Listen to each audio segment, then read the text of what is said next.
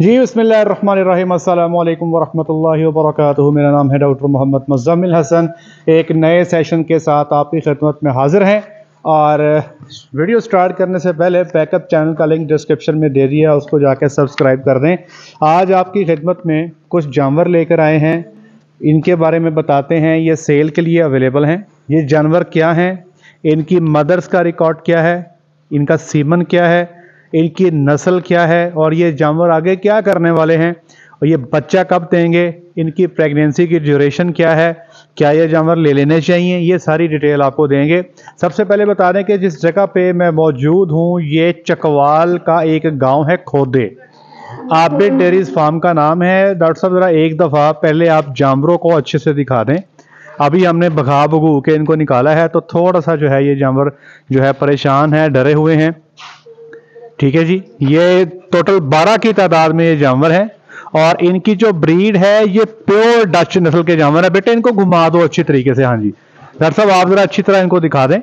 Pure Dutch breed है, सौ फ़ीसद Dutch breed है। ठीक है जी। ये जानवर इस फार्म पे जितने भी खड़े हैं, सारे के सारे डच एनिमल्स हैं। इंपोर्ट किए गए थे। दो दफ़ा यहाँ पर जानवर इंपोर्ट होकर आए हैं। एक दफ़ा सैंतीस जानवर इंपोर्ट होकर आए। दूसरी दफ़ा पचास जानवर इंपोर्ट होकर आए। डॉक्टर साहब ये बता दें काइंडली कि ये जो जानवर हैं ये सीमन से हैं या पीछे इंपोर्ट से आए हैं? ये इंपोर्ट से हैं। ये मतलब जो इनकी मदर्स पीछे से आई थी या उनके पेट में मौजूद थे। तो ये बच्चियाँ जो आप देख रहे हैं जो जानवर हमने इंपोर्ट किए थे उन जानवरों के पेट में जो जानवर मौजूद थे जो बच्चे मौजूद थे ये वो बच्चियाँ हैं। साथ ही साथ वो सेक्शन सामने दिखा दें डॉक्टर साहब। वो जो सामने बच्चियाँ खड़ी हैं वो छोटी जो है ये हमारी सीमन की वशियाँ जो हमने खुद सीमन रखा था। ठीक है जी? लेकिन ये जो वशियाँ आप देख रहे हैं, ये हॉलैंड से ही प्रेग्नेंट होकर इनकी मदर्स आई थी और ये सीमन वहीं पर रखा गया था तो ये बच्चियाँ आपके सामने मौजूद है। तो एक तो ब्रीड के हवाले से मैंने आपको बता दिया कि ये सौ फ़ीसद आपका प्योर डच का एनिमल है, ये तो आपका पहला सवाल का जवाब हो गया। दूसरे नंबर पे अब आपको इनकी उम्र बता देते हैं कि इनका एज ग्रुप क्या है। इनकी उम्र है जी कम से कम पंद्रह महीने, जितनी भी आप जानवर देख रहे हैं, और ज़्यादा से ज़्यादा सत्रह महीने। तो 15 से लेके 17 महीने तक इनकी उम्र है, जो भी आप जानवर देख रहे हैं, अगर आप इनके बॉडी वेट का हिसाब लगाएँ तो ये जानवर जो खड़ा है, ये इस वक्त तकरीबन साढ़े चार सौ से पौने पाँच सौ के जी का है। ठीक है जी? मेरा पास से दिखा दें, बेहतरीन जानवर है। इसी तरह ये जानवर जो खड़ा है, ये तकरीबन सवा चार सौ के जी का है। ये भी तकरीबन साढ़े चार सौ के जी का है। तो मुझे यहाँ पर जितने जानवर भी हमारा, चूँकि ब्रीडिंग क्राइटेरिया ये है कि जब इनको टीका रखा जाता है तो साढ़े तीन सौ किलो से नीचे हम टीका नहीं रखते। जानवर को मिस कर देते हैं, उसकी हीट गुजार देते हैं। साढ़े तीन सौ से कम पे इंसेमिनेशन नहीं करते।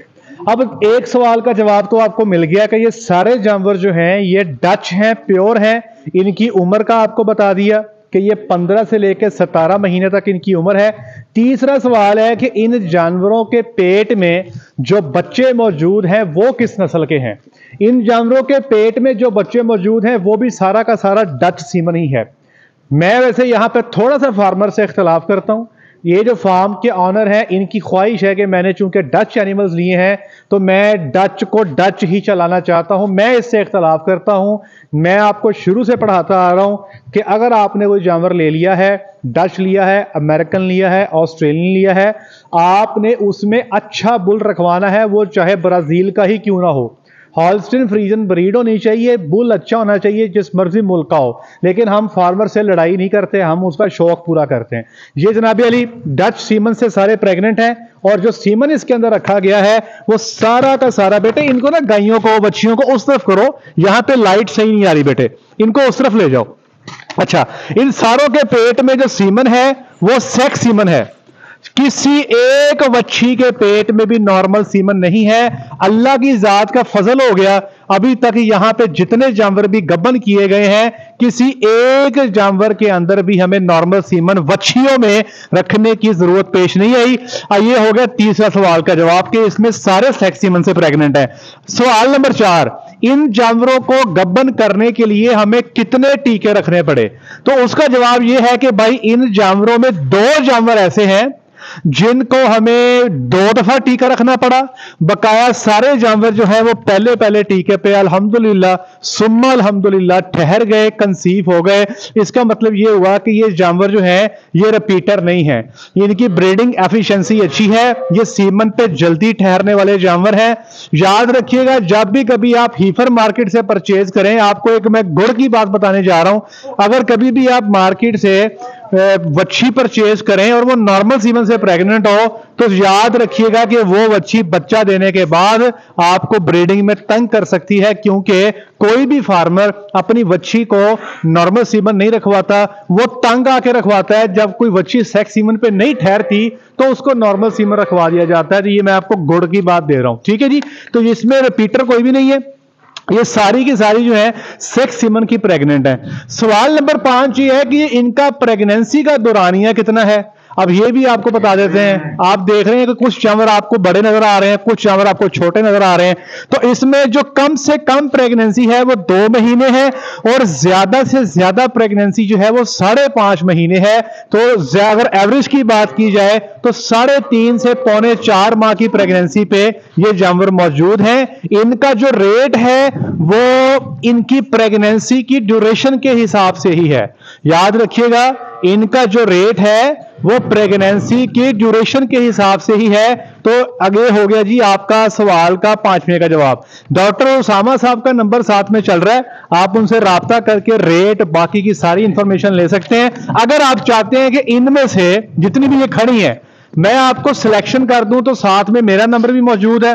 सिलेक्शन आप मेरे से करवा सकते हैं मैं उसके चार्जेस जो है वो फार्मर से लेता हूँ। आपको इनमें से मैं अच्छे जानवर निकाल के दे सकता हूँ। या फिर अगर आप सिलेक्शन के लिए अपने इलाके से भी किसी डॉक्टर को लाना चाहें आप बिल्कुल ला सकते हैं आपको ओपन चॉइस है। जैसे आपका दिल करे अगर आप खुद बहुत ट्रेन है आए बिस्मिल्ला करें रिकॉर्ड सारा आपके सामने रख देंगे इनशाला ठीक है जी?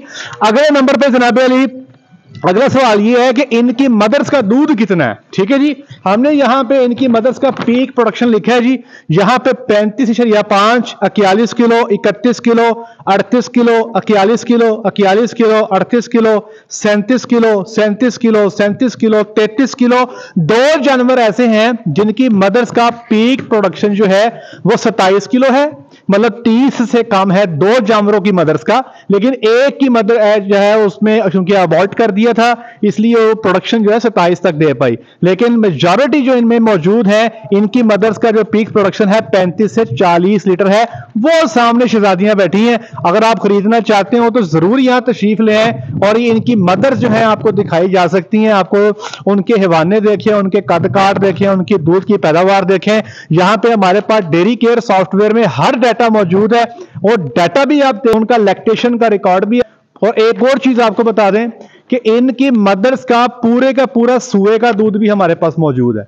मतलब हम आपको यह भी बताएँगे, अगर मिसाल के तौर पे आपको ये ब्लैक वाली पर्ची पसंद आ जाती है आप कहते हैं जी कि हमें इसकी मदर का भी दूध का सुए का पूरा रिकॉर्ड चाहिए। हम आपको इसकी मदर का पूरे सुए का दूध भी बता देंगे।